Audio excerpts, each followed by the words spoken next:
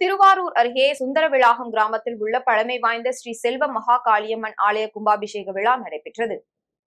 திருவாரூர் மாவட்டம் சுந்தரவிளாகம் கிராமத்தில் பல நூறு ஆண்டுகள் பழமை வாய்ந்த பிரசித்தி பெற்ற ஸ்ரீ செல்வ மகா காளியம்மன் ஆலயம் அமைந்துள்ளது. இந்த ஆலயத்தின் கும்பாபிஷேக விழாவை ஒட்டி பல்வேறு யாகசால பூஜைகள் நடைபெற்றது. அதனைத் தொடர்ந்து வேத மந்திரங்கள் முழங்க கோபுர கலசங்களில் புனித நீர் ஊற்றப்பட்டது.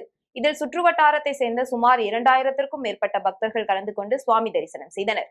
மேலும் ஆலயத்தில் பக்தர்கள் அனைவருக்கும் கிராம மக்கள் சார்பாக அன்னதானம் வழங்கப்பட்டது.